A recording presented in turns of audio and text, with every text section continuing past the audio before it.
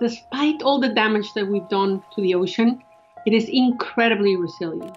And I try to remind people with my photographs that we still have time, that it's still worth doing, and there's still so much out there.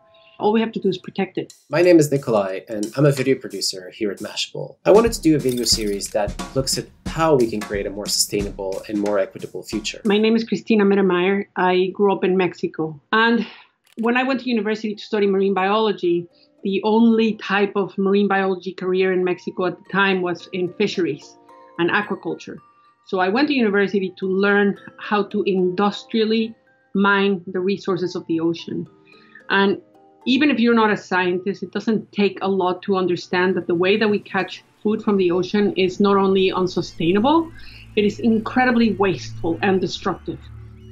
We not only have extracted most of the valuable resources from the ocean, because 80% of the fisheries on this planet are already overexploited, we've also dumped unholy amounts of waste, sewage, fossil fuels, fertilizer, and most recently plastics into the ocean. So I feel this urgency to attack all of these issues at the same time. Of course, they're impacting women more than men, but I also feel that the solution may be in you know in a more feminine perspective. And if 50% of the population of the planet is not empowered and invited to be part of the solution, we're not going to solve it.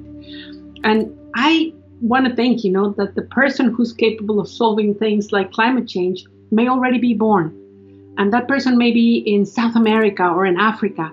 And she may not have access to education, you know. So we may we have to make sure that we are pulling women out of the shadows and into leadership roles. Why should people care about things that they don't think that they're connected to? Why should people be interested in species um, in places that they have never been to? And I think this is the main questions that you try to answer with your work. So I will ask you straight up, why?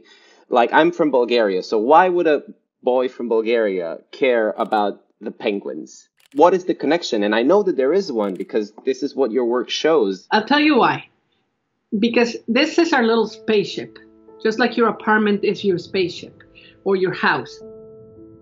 We have just callously destroyed entire ecosystems and we have declared entire areas of our planet disposable and disregarded completely as if we were never going to use it in the future. But if we were to go with Elon Musk to space, I bet, Nikolai, that the minute you and I put foot on that spaceship, we would get such a thorough briefing on all the systems that are going to take us on, on our space ride to Mars. You would know exactly where your waste goes and how much water you are allowed to take.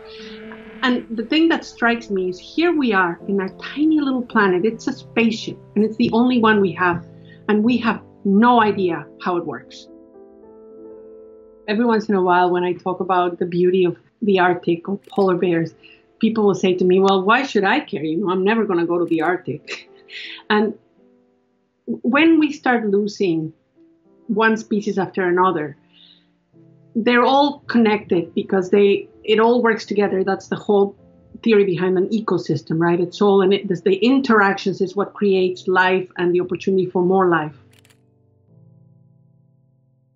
the picture that you paint is a dark picture. It's a picture of empty waters, or rather, waters full of plastic and dirt and pollution. But if someone goes to your Instagram account, which is at Mitty, and, and looks at your feed, it's it's a feed of just profound beauty.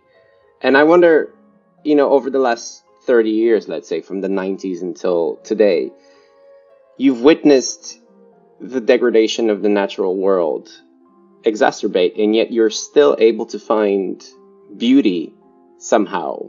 How how do you do it, and and why do you do it?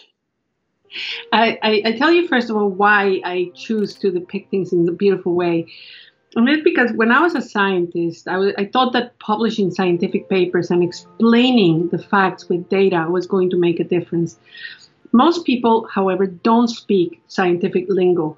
And most of us feel really stupid when we're confront, confronted with data that we don't understand. Therefore, we reject it. You know, nobody wants to feel silly. When you show people a photograph, we all feel a lot more competent. First of all, because we all have a device now that makes us professional photographers. And so we speak this language really clearly. But secondly, it's um, just a recognition that on this planet we have 4 billion years of evolutionary design perfection. Nothing goes to waste. The whole of nature is a circular economy where the things that one animal uses and then discards are used by another creature, another plant, and it goes on circular, circular, circular. Instead, we have chosen our systems to be linear. You take from nature, you utilize it, and then it's waste. It doesn't go back into a circular system. That comes from a colonial mindset that we carry with us for the last 200 years.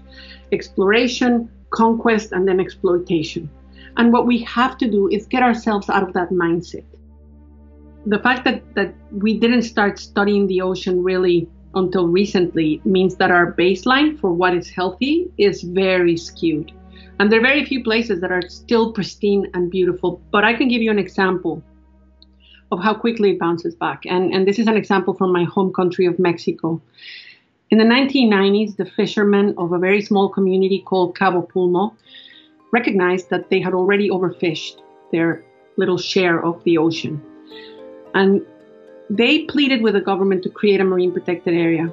And after much negotiation, an area was created. It's uh, 10 kilometers square, it's very small.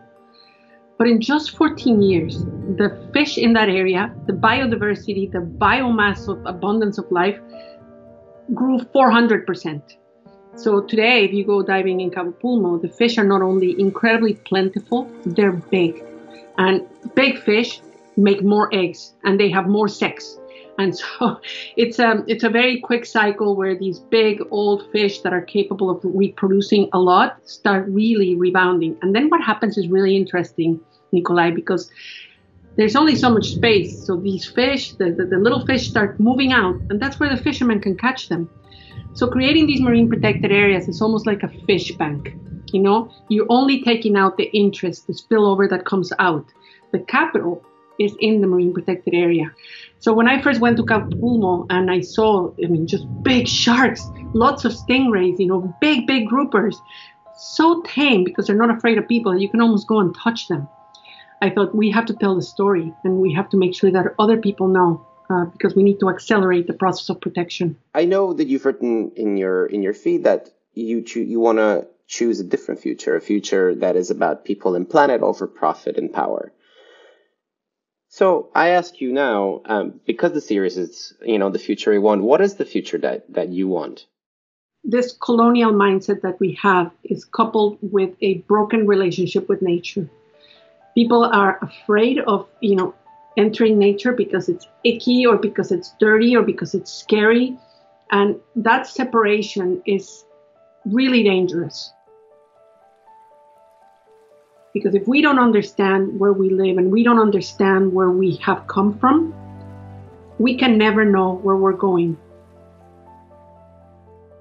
my compass is guided by science. There was a paper published last year, and I really love the title. It's by Dr. Carlos Duarte and about 20 of my other favorite marine scientists. And they set out to write a scientific outline for how do we regenerate life on the ocean. It's a recipe. And they separate it into six wedges. And these are six actions, six groups of actions that we need to undertake all at the same time. We don't have a choice to pick one or the other. They are we need to create more protection, not just on the ocean, but on land as well. We need to protect species. And that includes we have to stop this traffic of wildlife, taking animals from deep in the jungle and putting them in markets where they can spread disease and cause pandemics that we're living right now. We have to regenerate habitats, all those coral reefs, all those mangrove forests, all the rainforests that we have cut down. We have to make huge investments now to regenerate them we have to stop plastic pollution. So important. And uh, I'm so interested in learning about uh, alternatives like seaweed um, derived plastic. And then the final one is we really have to tackle climate change. And that means we have to start making some tough choices about where energy comes from. But it is this mindset of we can't change, we cannot transition, it's too difficult to shift that prevent us from really embracing a future that is brighter for everybody.